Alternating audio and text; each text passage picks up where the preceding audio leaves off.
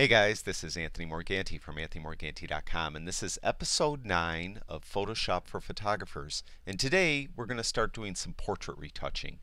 Today we're going to concentrate on the skin. And that's what typically when I do any portrait retouching in Photoshop, I start with the skin.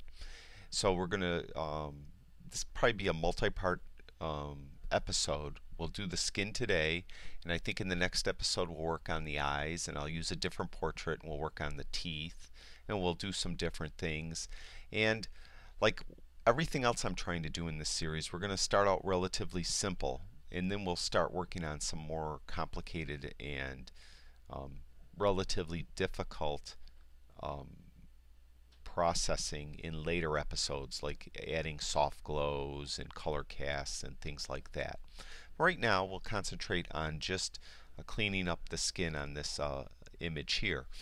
Uh, this is a photograph that I got off uh, stock photo site Dreamstime, and um, it's a pretty good uh, photo, I think, for this because um, it was a demonstration or it was a photo for acne, and so we could get rid of some of these blemishes. So the first thing when I do the skin is I do get rid of the blemishes, and I do it one of two different ways. I either use the spot healing brush or the healing brush. And the spot healing brush is a lot faster and you could go real quick. Sometimes though the spot healing brush will leave a weird red patch on the skin. And in that case, then I'll move over to the regular healing brush to get rid of that. And I'm going to show you both methods, or both tools right now. And typically, um, what we'll do first is we duplicate the background. We hit Command or Control J to duplicate the background. And let's get in the habit. I'm going to uh, name uh, this layer. And I'm going to name it Blemishes. Alright, so we know what we did on that layer. And um, now we're in the spot healing brush. Simply, all you have to do is just make the brush slightly larger than the blemish you um, want to eliminate by hitting the right bracket key to make it bigger, the left bracket key makes it smaller.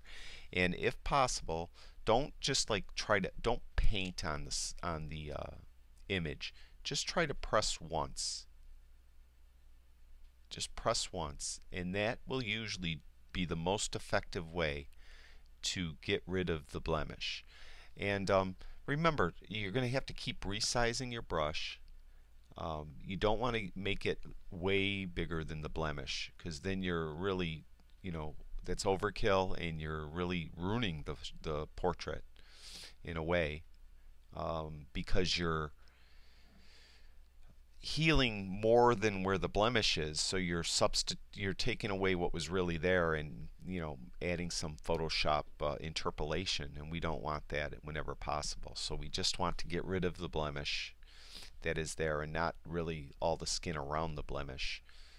So typically what I'll do is I'll go like this and I, will go relatively quick. I'll just um, get rid of the blemishes that I see here and then eventually I'll zoom in and you could even see more uh, detail of blemishes and stuff like that. And to zoom in, I hit Command or Control plus a couple times and I'll zoom in. You hold the space key key down and your cursor will turn into a little hand and then you could drag the image around. Now we see we got some looks like dry skin on the image here or on her face so we're going to get rid of that. Now I mentioned that um, at times the uh, spot healing brush doesn't always work very well and in those instances then I'll use the regular healing brush. Now right now actually it seems to be working pretty good but I'm going to show you how to use the healing brush. Um, you know, um, if you run into this where you have to use it. And the way this, it works very similar to the spot healing brush, except you have to sample an area first. And to sample area, you hit the Alt or Option key, and you can see your brush turns into like kind of like a bullseye. And you just click down on that area, and that means I sampled right there. And you can see as I click on the blemish it's it moves what where I sampled. So always try to sample somewhere near where you want to remove. And that's how you would use that. Now as I mentioned You, I generally will use that when the spot healing brush isn't doing a good job. Sometimes the spot healing brush will make a big red like blotch in replacing, especially if I'm replacing a relatively large mole or something like that. Um, then it just it doesn't seem to do as an effective job. Also, where you might want to use the um, regular healing brush, let's say she had a spot right here, right in the crease of her eyelid. If I did that with the regular healing brush, it probably would ruin that crease. Where you could do a sample of somewhere along the crease and then um, you know get rid of the uh, blemish that is right near the crease without um, and it would look more natural you know is what. And then as I mentioned you want to try to avoid drawing like this but sometimes you can like this she has a little line in her chin there so we could get rid of that. And um, that's that's good enough for now. I mean you get the idea. So I hit uh, Command or Control 0 and it brings the uh, photograph back out. Now the next thing I want to do is I want to soften the skin. Now this you might want to get out a piece of paper and take some notes because this is a multi-step process. So the first thing uh, we'll do is we uh, duplicate the background again or duplicate this layer again. So we hit Command or Control J and again I want to um, rename this and I'm going to rename it um, soften skin. Simple as that. Now what we're going to do is we're going to uh, use a high pass filter to soften the skin and I can't remember exactly where I got this from. Um, I didn't invent this or anything. I think I got this from Scott Kelby. I might have got it from Calvin Hollywood. I think it was Scott Kelby though and I don't think he invented it either. I think he got it from somewhere else. But maybe he did. I'm not sure. But I want to give at least the credit to Scott Kelby because he's the one that I think showed me how to do it. Um, what we do now, we duplicated the layer. And now we have to change the um, blend mode of this layer to vivid light. You can see now it looks absolutely horrible. Now, the next thing we do is we're going to invert it. To invert it, it's simple. Command or Control I. Now it's inverted. Now the next thing now we're going to add the high pass filter. So we go up to um, Filter, Other, High Pass.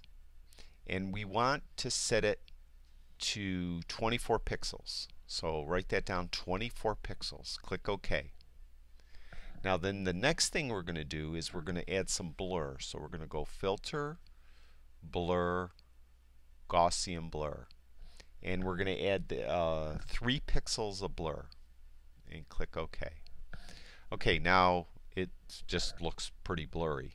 You know, not much beyond that. What we have to do now is you need to double click right on this thumbnail that where we I named it soften skin. Double click on it and you'll get this box come up. It's the layer style box. Now at the bottom it says blend if and we have gray so leave that gray. What we want to do is on the first uh, group of sliders it says this layer. We want to move these sliders around. Now if you just move them around you can see it gets kind of weird looking. It's like clearing her eyes but not her face when I move that one.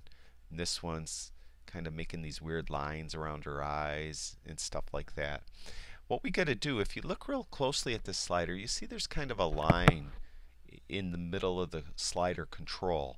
We could split these sliders in half. And the way we do that is you hold the Alt or Option key down and grab the slider. And you see how it's split in half?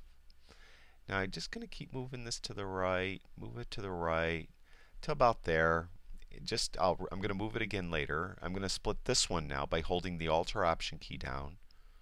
And I split that slider. Now I could just move it go, or to the left and just keep moving it around until we um, get it so her eyes look clearer, her eyebrows look clearer, um, and we don't have any artifacts in there like we were getting before. And it's still not, we're not done yet. So, you know, don't go, wow, this looks horrible. Um, you know, this is good enough for now. Just like this. So I'm going to click OK. Now, what we did now is we softened her skin, but we softened everything. Really, her eyes are softer, her hair is softer, and we don't want that. So what we want to do is we want to um, add a layer mask, and we want to add a black layer mask. So hold the Alt or Option key down when you click on the layer mask icon at the bottom of the uh, right hand panel. And we got the black layer mask. Now it's blocking that effect. So we're kind of right back where we started. But what we want to do is we want to get a brush and we want, um, you know, a pretty hard brush, I would say. And what we want to do now is we want to paint in white because we're using a black layer mask. And when I paint on white, in white on the layer mask, it's going to let this effect come through. And um, as you watch, as I do it, and what you want to do now is you want to avoid the eyebrows. You want to avoid her hair, although this flyaway hair is okay, I could hit that. You want to avoid her eyes themselves. You want to avoid her lips. You just want to get the skin of her face. And I don't know if you could see it in the video, but it's kind of brushing away that kind of kind of freckly uh, skin she had. Here, I'm just going to show you. There it is before, and there it is after as I brushed it. Now I'm going to do all, it's going to take a second, so bear with me. So I'm going to get a bigger brush down here, since there's not really anything I have to worry about. Um, I don't have to worry about painting accidentally on something I didn't want to paint on. Now, to see if I missed any spots, what you could do is you could hold the Alt or Option key down and click right on the mask. And what it will do is it'll show you the mask itself. And you can see we missed some spots here.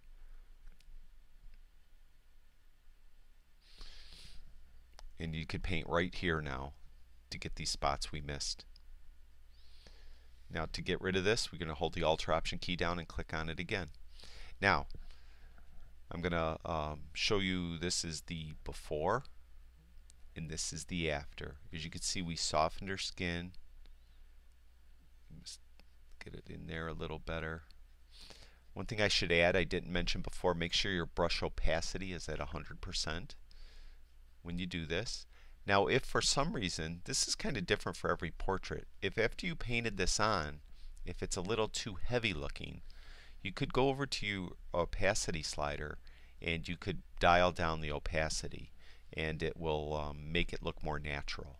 So if for some reason on the portrait you're doing it looks a little too heavy, a little too blurry, just dial down the opacity and you'll be all set. Okay, now we soften the skin. Now the last thing I want to do is I want to uh, minimize these bags under her eyes.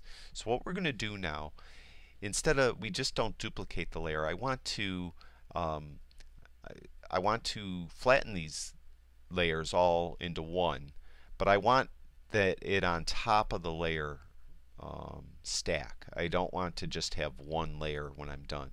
And we've done this before. Um, you just hit Shift, Control, Alt, E. That's if you have a PC. So Shift, Control, Shift, I'm sorry, Shift, Alt, Control, E. There. Shift, Alt, Control, E if you have a PC. If you have a Mac, it's Shift, Option, Command, E.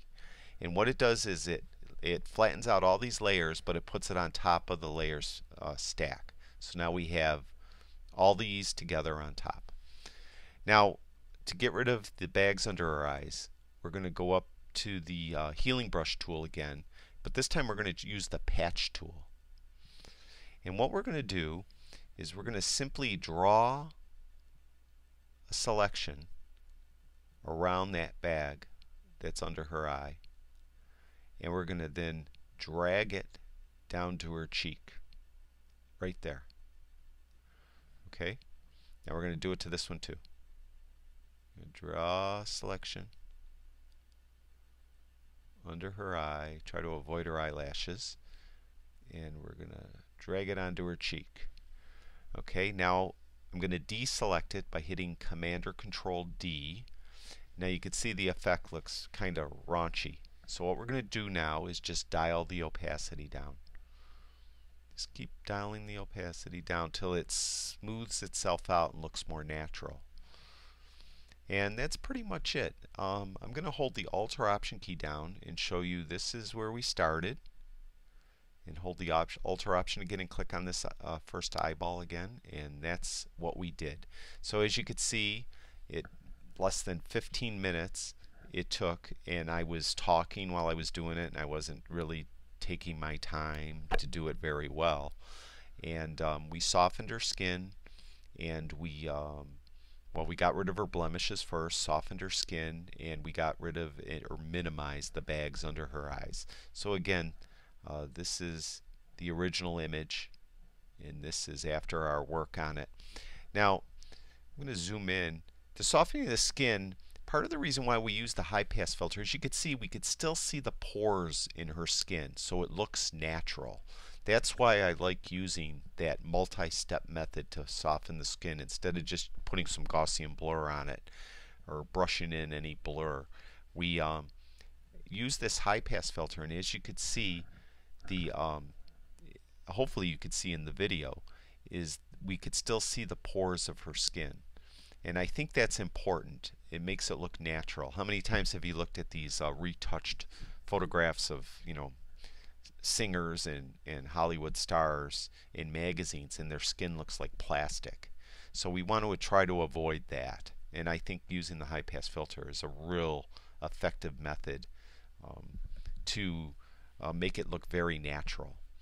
And um, that's it for this episode. Now in the next episode we're going to do some stuff for the eyes. We're going to get rid of the red in the eye and we're going to I'm going to show you how to change the color of the eye and enhance the eyes and also probably on obviously in a different portrait we'll uh, get rid of yellow teeth I'll show you how to do that and um, like I mentioned in every subsequent episode we're going to add more and more until you guys know how to do a complete portrait retouch using Photoshop so that's it for now I do appreciate everyone watching and um, if you guys could, if you could go over to YouTube and subscribe to my YouTube channel, I'd appreciate that. And go over to my website, anthonymorganti.com, and see all the stuff I have over there on photography. And um, if you have any questions, feel free to email me at tony at anthonymorganti.com. I do get a lot of email, and sometimes I get behind. And if I get behind, I'm usually like a day or two behind. But I'll get to your email eventually. I, I do apologize if it takes a while. And that's it for now. I'll talk to you guys soon.